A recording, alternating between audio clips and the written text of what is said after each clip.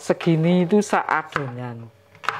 Berarti kurang lebih 200 graman itu. Hampir iya betul dua hampir 200 gram itu seadonan kan kalau satu resep itu dua kilo seperempat semua. Nah ini setengah kilo bawang putih merah. Nah ini banyak ya. Segini tuh satu resep bawang biasa ini. Terus saya cuci dulu. Cuci dulu. Iya biar bersih. Nah gitu. Nah setelah itu baru saya iris pakai kami pakai alat ini. Manual ya. Iya. Ini. Dilembutin. Jadi tadi Nah, ini kan dipotong-potong dari kiri kan ya. lembut gitu. Ini Gitu, hasilnya. iya. Perkenalkan, nama saya Ibu Sutengsu yang sudah satu tahun pensiun dari SMA Negeri Dukun Magelang. Uh, kami usaha stik bawang merah. Sudah saya timbangi tadi sepertiga resep. Sagunya setengah kilo, terus tepung tepung terigunya seperempat kilo. Nah, terus dikasih roiku saat segini sesendok makan. Sesendok makan. Uh, seper 3 per 4 sendok makan sama garam halus. Nah ini ya. bawang merahnya kita gabung semuanya terus tambah telur satu nanti. Oh jadi bawang merahnya ini nggak dijus dulu ibu ya? Enggak, jadi langsung. Langsung masuk kan bu ya? Oh, oh.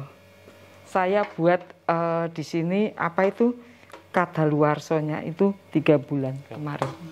Satu resep kan tiga. Ya. Nah ini kan sepertiga sepertiga resep. Satu. Ya, Terus ditambah santannya Ibu. iya santannya sedikit-sedikit nanti biar jadi adonan. Santannya seperempat aja Bu ya. Iya, ah, santannya eh, se ini sebenarnya 500 gram. Saya pakai ini ya. Seper 500 gram itu satu resep. Eh, rasanya itu tidak begitu keras gitu loh. Nah rasanya renyah gitu loh.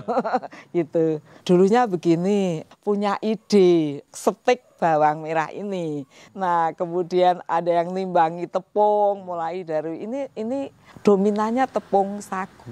Kalau sudah jadi seper adonan itu ya gitu, sudah selesai. Oh berarti ini finishing ya. Ya. Tambahin lagi. Ya kalau kalau masih masih agak lembek tambah ta- nambahnya tepung sagu biar biar nggak keras kalau tambah ini keras. Jadi eh, semua anak-anak sampai Orang tua orang tua gitu ya. bisa makan. Eh, Teman-teman yang dari luar kota eh, bisa mencicip atau nanti menjadi reseller, yaitu eh, bisa hubungi ke kami, yaitu usahanya namanya Nyateng. Nah itu nomor WA saya itu 08222 1961 720. Untuk hasil gorengannya pakai ini kami untuk bikin lembaran.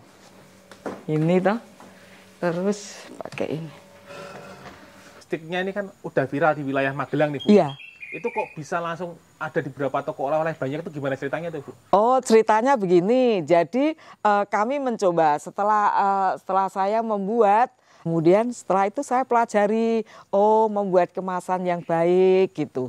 Eh barangkali saya mengemas dengan rapi, bersih, kemudian saya mencobanya itu eh, di pusat oleh-oleh Blabak ini, sari rasa ya Langsung diterima ya Bu ya? langsung. Nah, sudah dilihat. Nah, saya itu nawarinya gimana? Eh, itu eh, memang saya agak iseng, eh diterima syukur, tidak diterima nggak apa-apa. Saya itu sering pasrah sama Tuhan. Akhirnya ini sudah PIRT sudah dilihat, dilihat, terus ada kadaluarsonya ada gitu loh.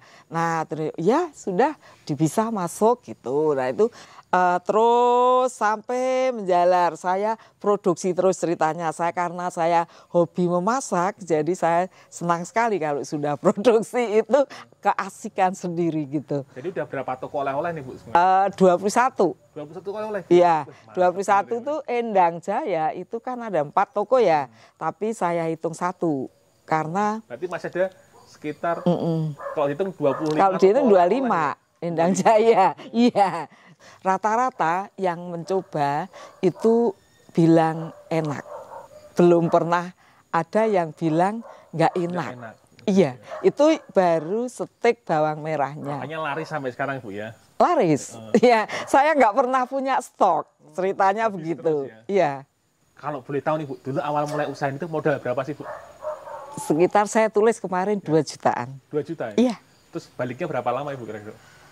Ya cepat, langsung karena ada yang langsung eh, dibeli, langsung dimakan, diberi uang. Nggak sampai seminggu Ibu ya? Enggak, Wih, bulan sampai ratusan picis terjual nih Bu ya. Terjual. Karena saya itu eh, di waktu malam, itu saya sering meditasi. Sekitar jam 2 pasti saya bangun. Jadi eh, kalau meditasi itu saya pasrahkan semuanya terhadap Tuhan. Masak. Sama-sama. Heeh. Teksturnya Iya, wong iki kok mau kudune bareng kok berarti bareng. Kalau gini Bu, satu timbangan berapa ini? 200 gram, 100 gram. 200. Kalau saya terutama modalnya yang kecil dulu. Gitu. Seperti ini kan eh, alat-alatnya itu Seadanya Ringan. Bu, ya. iya. Jadi alat alat penggilingan itu cuma ndak ada 300 ribu.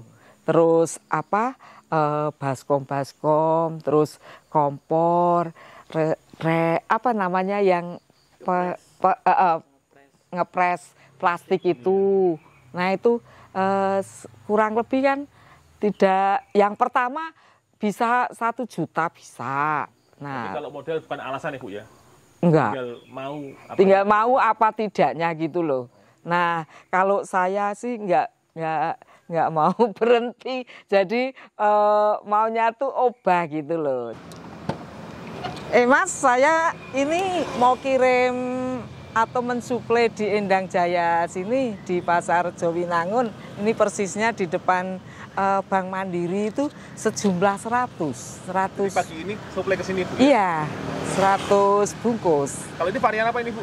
Eh, dari eh, steak bawang merah. Steak bawang merahnya. Nah, nanti rencananya ke eh, besok atau besoknya itu steak bawang eh, steak ikan patin. Iya. Berarti yang stok kemarin udah habis, Ibu suplai baru ini Bu ya? Iya, steak baru ya.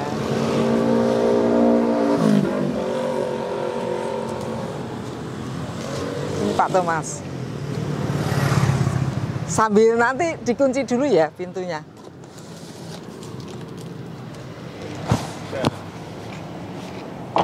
Kuncinya mana? Kunci mobil nggak usah dikunci? Oh nggak usah.